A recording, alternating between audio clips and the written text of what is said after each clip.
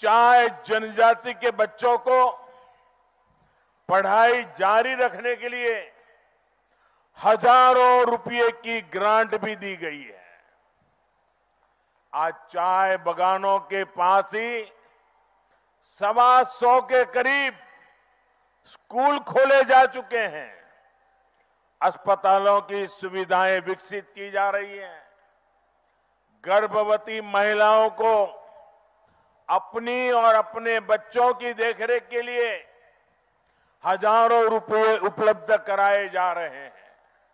इसी तरह पक्के घर हो, शौचालय हो, गैस कनेक्शन हो, पानी का कनेक्शन हो, ज़मीन के पट्टे हो, ये काम डबल इंजन की सरकार तेज़ी से कर रही है। इस बार के केंद्रीय बजट में एक हज़ार करोड़ रुपए की बहुत बड़ी राशि सिर्फ़ चाय बगान में काम करने वालों की सुख सुविधा के लिए ही रखी गई है। ये हमारी प्राथमिकता और प्रतिबद्धता को दिखाता है। साथियों टी गार्डन्स में काम करने वाले हमारे साथियों की दैनिक मजदूरी बढ़ाने के लिए भी एनडीए सरकार प्रतिबद्ध है। मैं इस बात की सराहना करता हूँ कि असम सरकार ने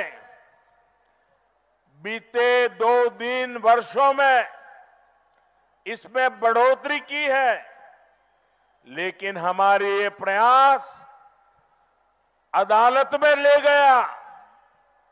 अदालत में जाकर के मामला अटक गया। इसका लाभ उठाकर विपक्षी दल तरह तरह के भ्रम फैला रहे हैं तरह तरह के झूठ बोल रहे हैं। ये वही लोग हैं। जिन्होंने टी गार्डन्स में काम करने वाले हमारे भाई बहनों पर कभी भी ध्यान नहीं दिया। जैसे ये पहले झूठ बोलते थे, वैसे ही अब भी झूठ बोल रहे हैं। इसलिए असम के लोगों को इन लोगों से सावधान रहने की ज़रूरत है। भाइयों, बहनों, एक चाय वाला, एक चाय वाला आपके दर्द को नहीं समझेगा तो कौन समझेगा?